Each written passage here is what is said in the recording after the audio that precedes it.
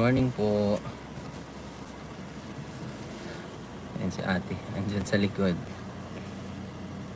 Salamat po sa mga nagparating at nagpaabot ng inyong pakikiramay. Thank you so much. Magandang magandang araw po ba?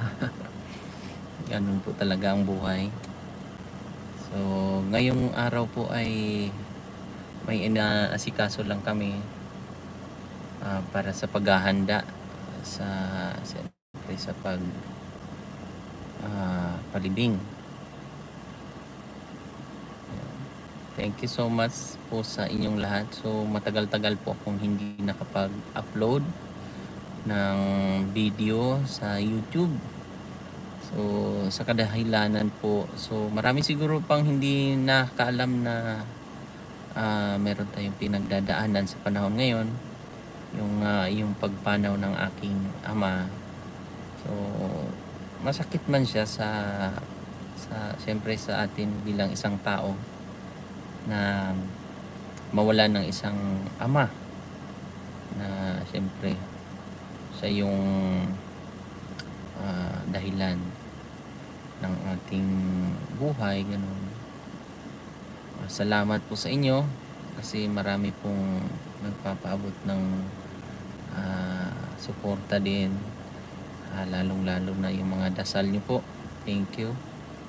So kami po ay nag-aantay lang muna kasi mamaya didiretso kami sa funeral ah, para bayaran po yung ah, yung mga dapat bayaran doon sa funeral niya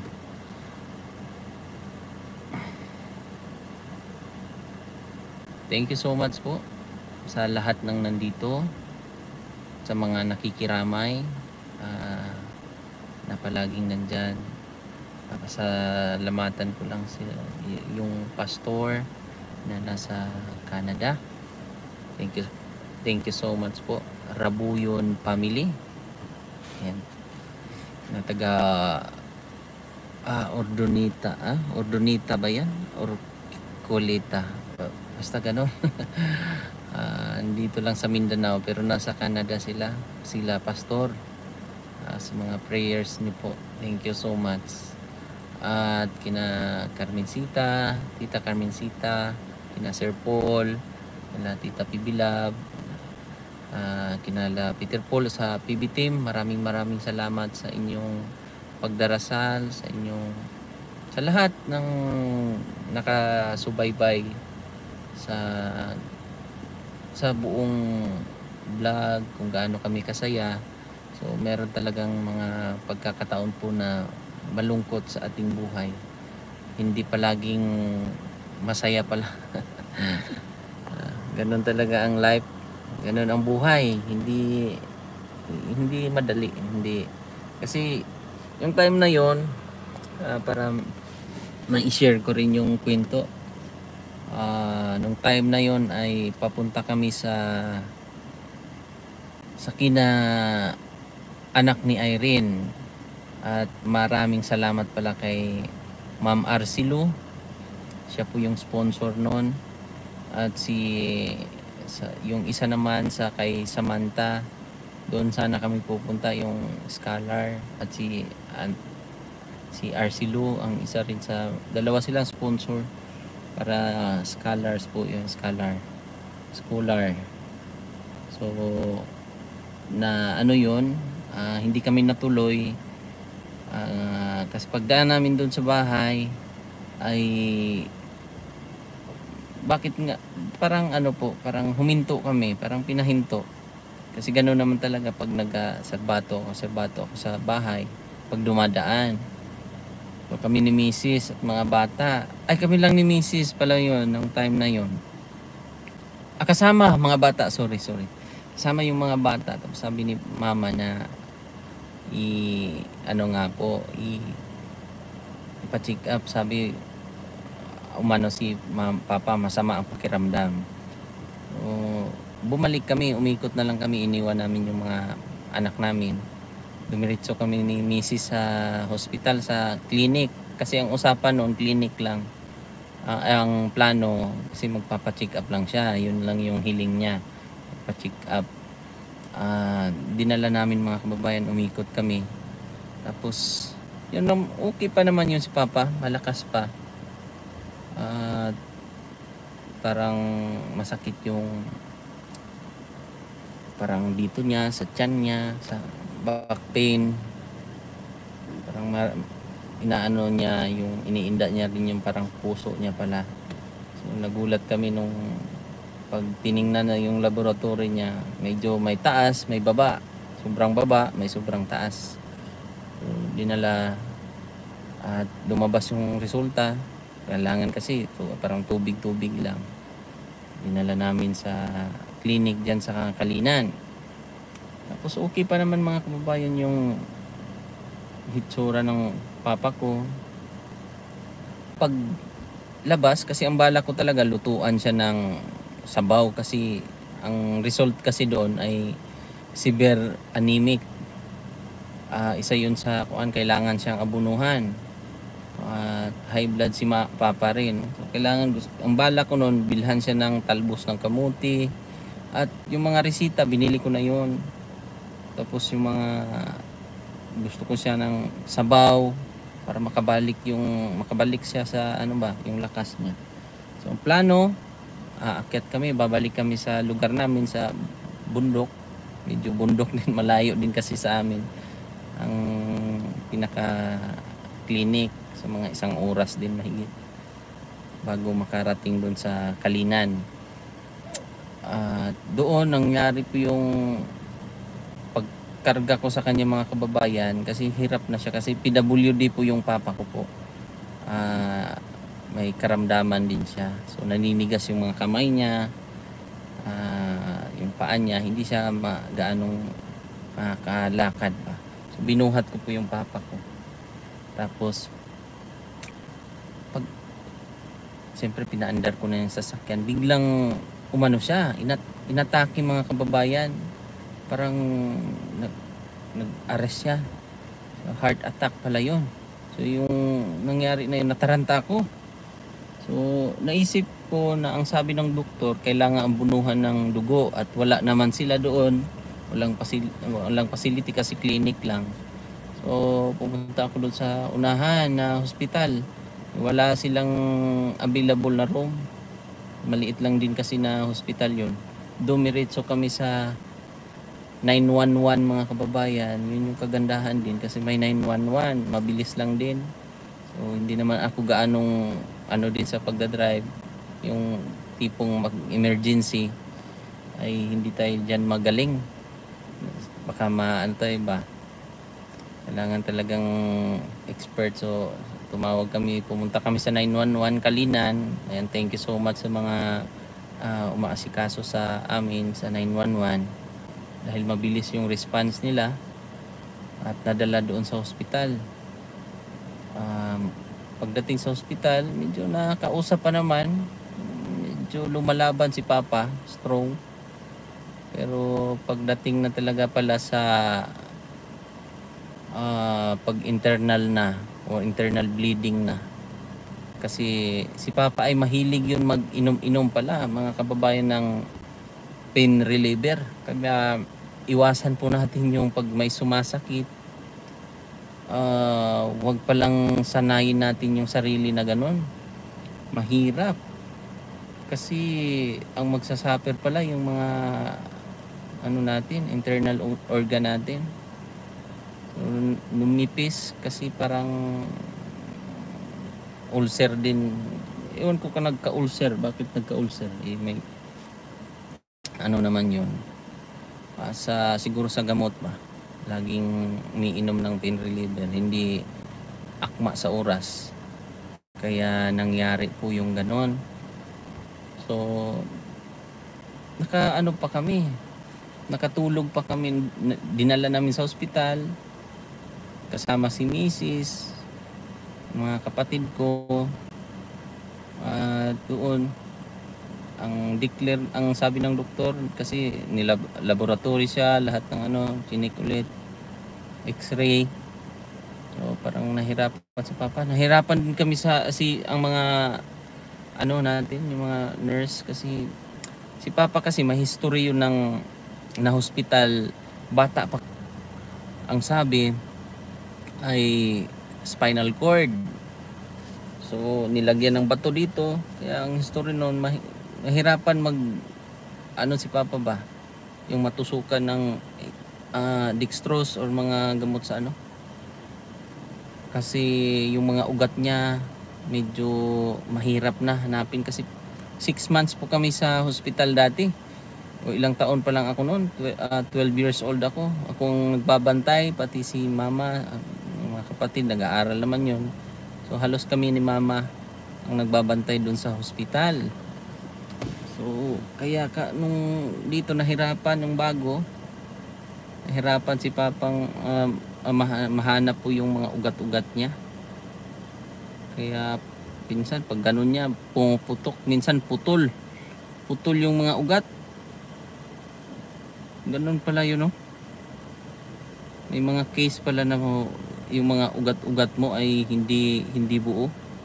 Bu mabubuhay ka rin pala kahit yung mga ugat-ugat mo sa kamay. Kasi dati kasi tusok dito. Ah, tusok kahit sa paa. Kaya hirap siya maglakad. Kaya kawawa din si Papa. Pero talagang nilaban namin mga kababayan. Pinapakita namin na ah, hindi kami nang nanghina para sa kanya. Sinasabihan namin siya na laban pa. Laban. Uh, kuan ka la- gagaling ka. Laban. Magdasal para ano patat tibay ka. Kasi pag ah, sabihin natin ano yung sabihan pa natin ng ah, parang pinapagalitan dapat ano lang ang ginawa namin magkapatid strong ka lang pa. Ah, kung ano ano anong anong mangyari ano laban ka. Pero nung time na nag-declare yung doktor na kailangan siya sa ICU so dinala talaga pinasok sa ICU si Papa. Kasi kami talaga nag-asikaso. Una nun kami ni Mrs. so mahirap pa lang heart attack na. Una noon sa ang cause talaga niya ay sa pagiinom ng mga pain reliever. Mahilig yun mag-inom-inom kasi may history nga siya ng parang nanigas yung mga katawan niya ba? Paa. Ugat-ugat. So sabing masakit iinom siya ng mga pain reliever. So second niya ay yung bleeding. Bleeding ng kanyang internal organ. So minsan nag ah, ano siya pasintabi lang yung parang umaano siya sa bibig niya. Tapos ang pinaka cause na, na talaga may na ano yung heart attack niya. Cardiac arrest na po. Pero nung cause noon yung pain reliever ingat talaga tayo mga kababayan sa pag-inom ng mga ganong gamot na hirap. Baka lalo na sa pag may mga sakit-sakit tayo. Kailangan talaga healthy healthy living kasi ma, doon mo ma-realize na mahirap pala pag ganun na pag nakita mo. Tapos huli na yung lahat yung basta sige. Yung pabayaan mo yung sarili mo. Ito po mga ano natin. Kasi meron din talagang mga ganong pagkakataon na siyempre busy tayo. Pero pinapasalamat ko na ah, pahinga na rin si Papa para maging ano na rin ba? Kawawa naman din kung magtagal pa yung buhay niya na nakikita mong nahihirapan. Pinapa sa Diyos na lang talaga namin. Kinausap namin yung hirap na hirap na siya. Sabi namin na pa kung nahihirapan ka na ah pahinga ka na. Ipasa Diyos mo na lang. Mag humingi tayo ng kapatawaran ganon laban lumaban ka man pero sige lang pa Magkit- magkita-kita rin sa ano ba kung anong ah, sa pagbalik ni ng Diyos ng ating Ama Di ba? Ganon talaga. Sa kuan pa, una-unahan na lang. Ah, at salamat sa mga nagdasal, sa mga supporters, sa mga solid viewers, subscribers, at siyempre sa mga nagdarasal po. So hindi ako nakapag-upload ng mga video. Kasi dapat noon yun nga pupunta kami kina Irene. So hindi na tuloy yun ayan. Salamat kay Celita Alarcon. Thank you so much po sa mga nandito. So mabuti na lang po ay tawag niyan. Ah, na yung schedule namin ay doon papunta. Kina Papa sa lugar na yon kay at least na dala natin.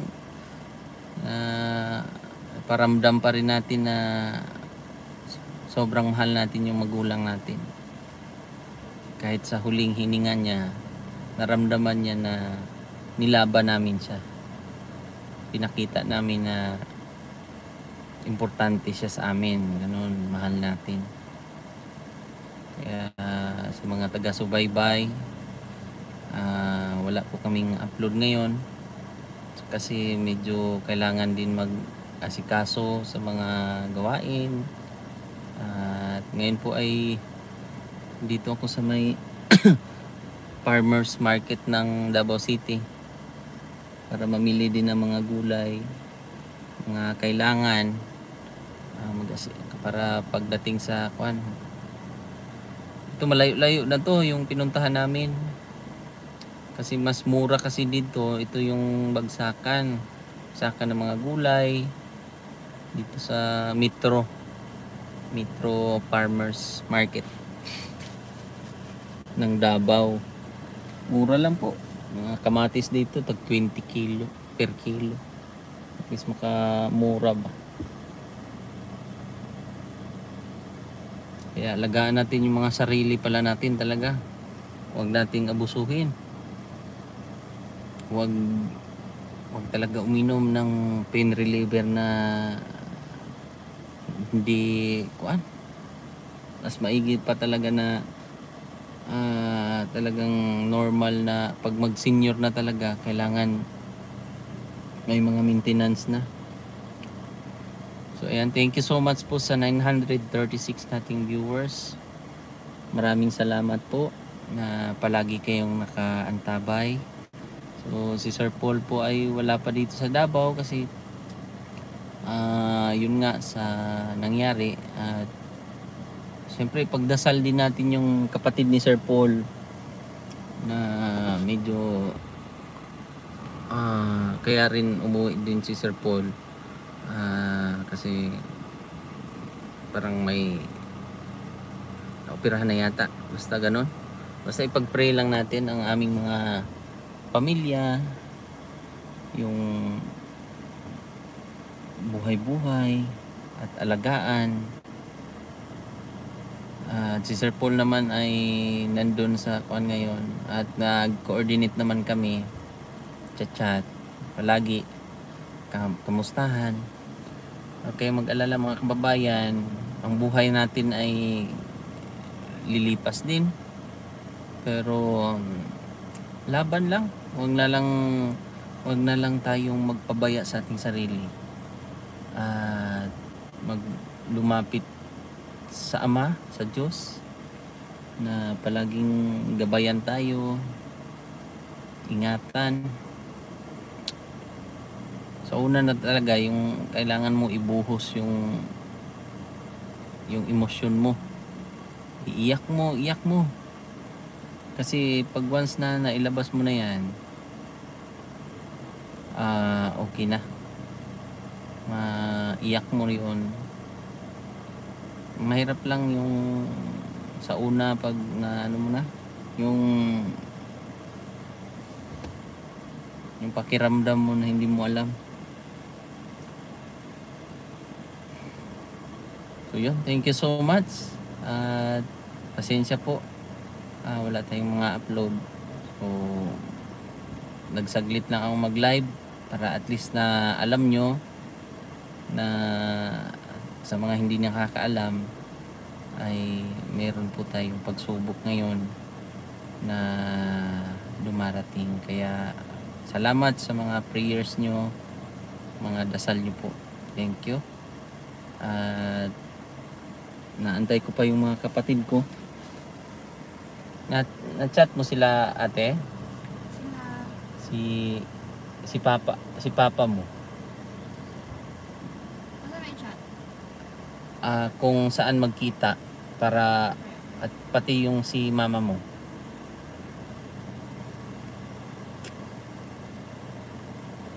So ayan po mga kababayan at maraming maraming salamat sa mga nagdarasal po. Thank you. At suportaan niyo po kami palagi at sa buong team sa mga pagsubok. Kayo din po mag-ingat at iwasan ang mga pain reliever po mga kababayan. At God bless. Bye-bye po.